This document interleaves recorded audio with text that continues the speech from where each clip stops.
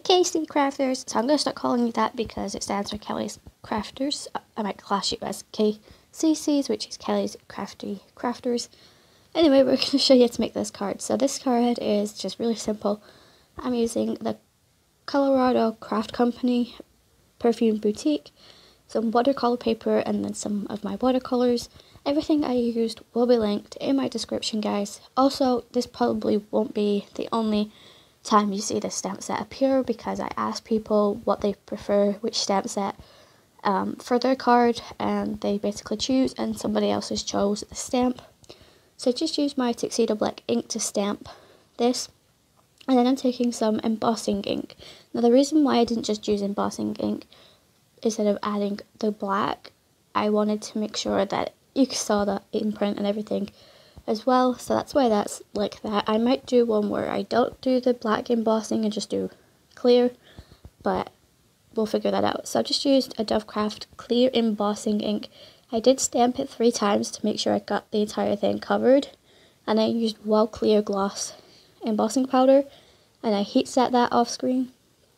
So I'm taking the three blues that come in this set with the water marker and I'm going to start off with the lightest blue for the, vase itself. Um, so I am still very new to watercoloring guys so please bear with me. Um, I do sometimes forget like more is less when it comes to watercoloring so anyway I'm going to insert some music. I hope you enjoy the process um, if you don't like watercoloring, then maybe this video isn't for you. Um, but I hope you do stick around until the end because I think it turned out really great. So I'm going to insert some music. I'll also insert a time frame if you want to skip it, but I don't see the point of that. But anyways, I'll see you in a second.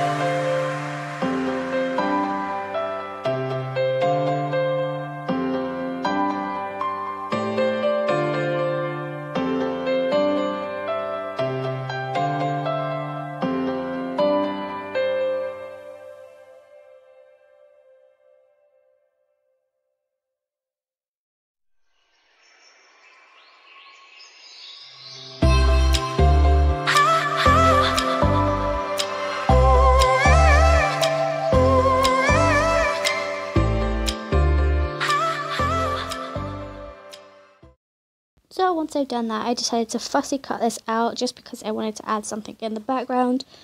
Um, anyways, also I did add some sparkle note pen um, to the bars. So I'm just taking my soft colors paper pad.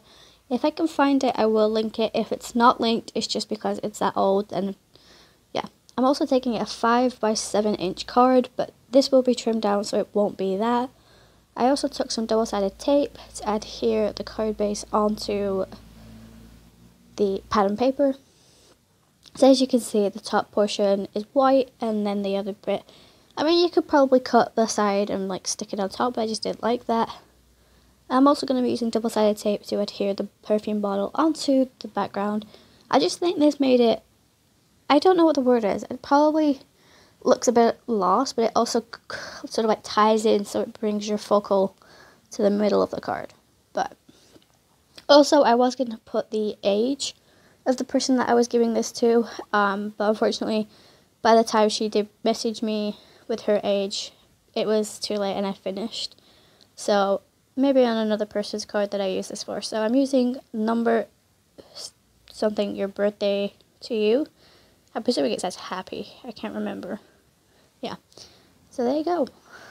So I come in with my Spectrum Noir Sparkle Pen again. And I also bring in my white gel pen just to add some little details to the flowers, just to make them stand out just a little bit more. But that is it for the card, guys. I do add my personal stamp on the back, as usual. But apart from that, that is it. So I hope you guys enjoyed this video. I hope you don't mind my watercoloring. Let me know down in the comments what you think, if you have any tips and tricks for me. Um, also, go follow me on my Instagram. It will be linked in the description.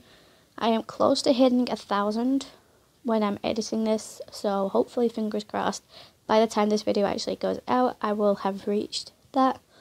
Also, go follow the girl I send this to because she did send me a couple of gifts for my birthday and she lives in the US, so I'm going to be doing the same thing for her. Um, so fingers crossed she also likes what I send her. But apart from that, guys, I will see you in my next video. I hope you guys are staying safe and just have some fun crafting, even if it's not something that turns out perfect. Like, I think we just need to learn from each other. Also, I just remembered I did bring in some, like, crystal jewel drops embellishments to add something to the uh, surrounding area. So I used my multi-matte medium glue to adhere that. But apart from that, guys, I will see you next time. Have fun, and I hope to see you very soon. Bye, guys.